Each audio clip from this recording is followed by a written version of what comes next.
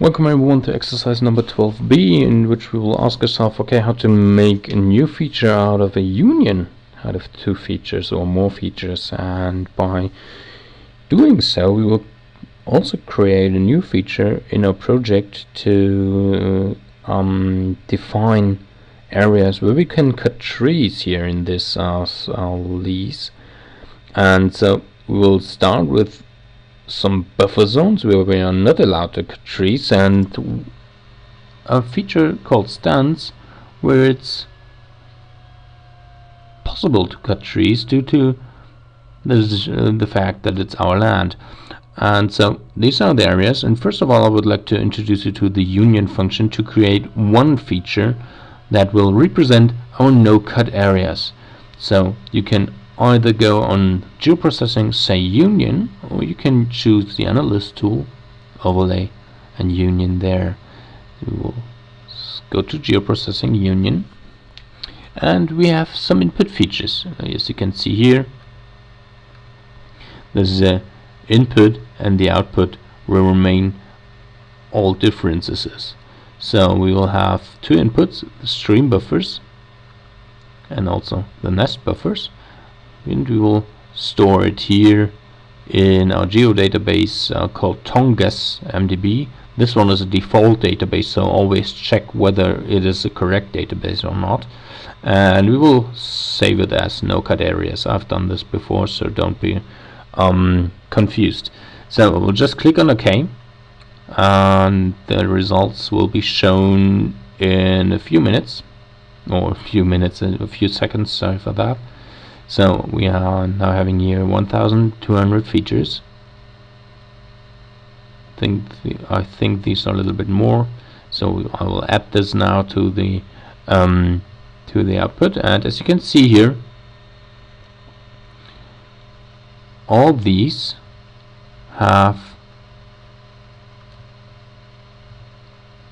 very uh, specific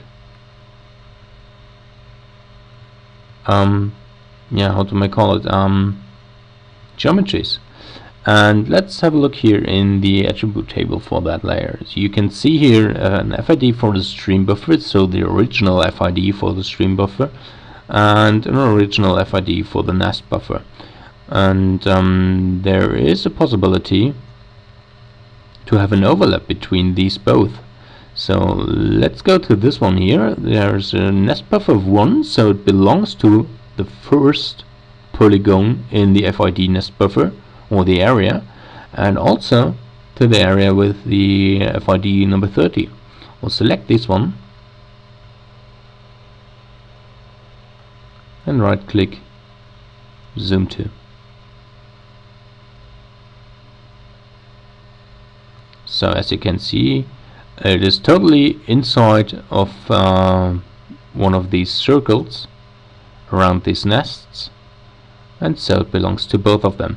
We will use this information um, as an identificator later on for our cuttable areas. So what we will need to do now is we will use these features or these geometries and the geometries from stands F to create a new union which will then be asked for whether we can cut trees over there or not. So the input features are now no cut areas and stands F. We will store it here in our database and say OK.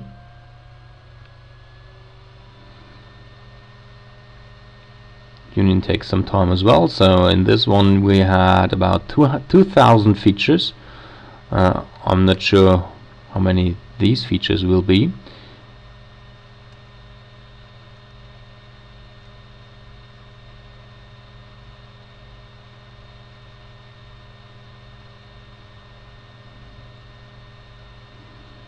So now I'm a little bit disappointed I'll just remove this one and also this one due to the fact that the union of both of them should include every um, every circle as well. So we'll just create a new union and say you have no cut areas and the stands F store it here just to make sure that everything is working fine. It could be due to some kind of selection I've done there. Cut areas underscore 2 and just say okay.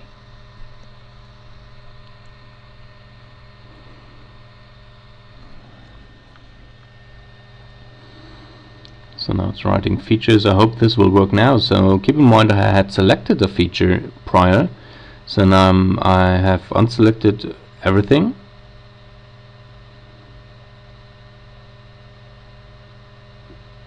So I hope it's working fine now. I'll add this to the display again.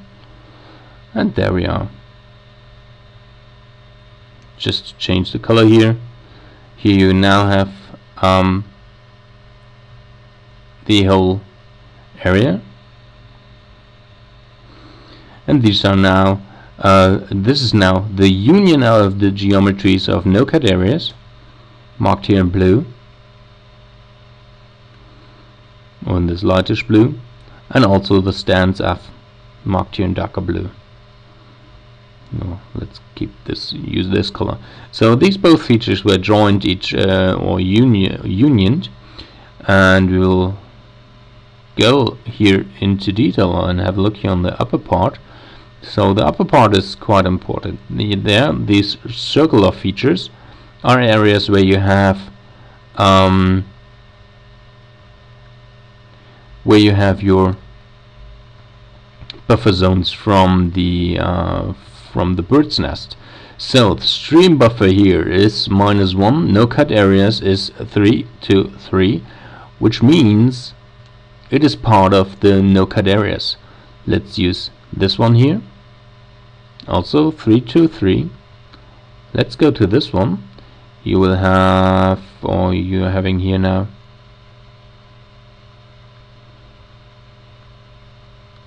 Uh, come on let's be a little bit more specific. I think the um, the snapping tolerance is a little bit too heavy. So these are all having FIDs from no-cut areas so they are part of the no-cut areas. And the FID from the nest buffer was the totally original one. I'm searching now for the FID from the stand ID that is there. So we will do a selection on the FID from no-cut areas and this FID from no-cut areas should be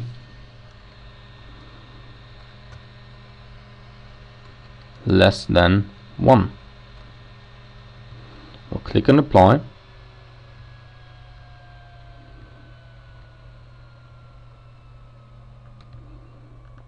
and click on close. I'll zoom to the layer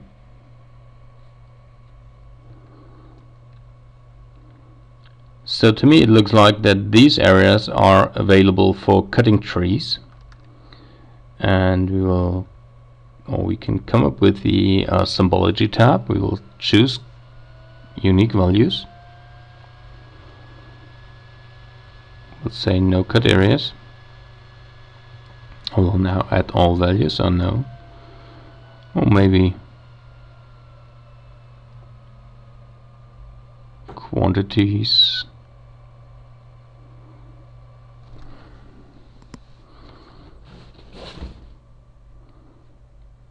oh there's a label field. And as you can see the label should be less than 1 so let's stick with that one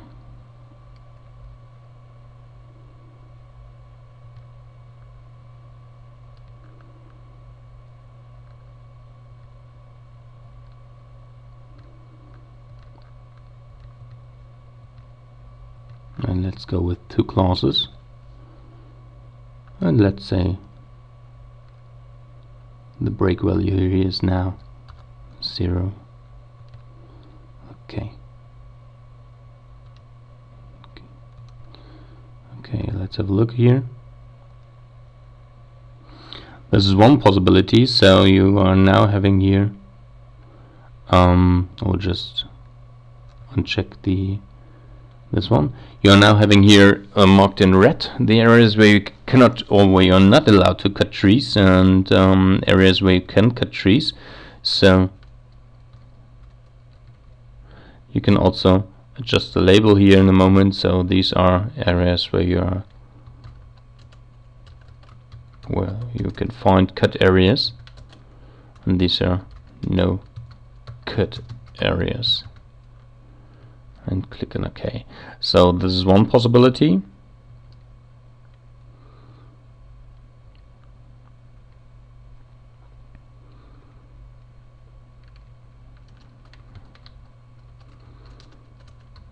and I hope this one is another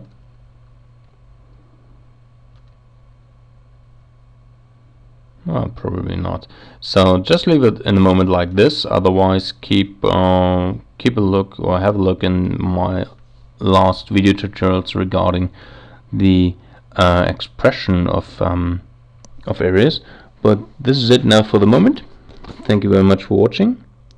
Take care and goodbye.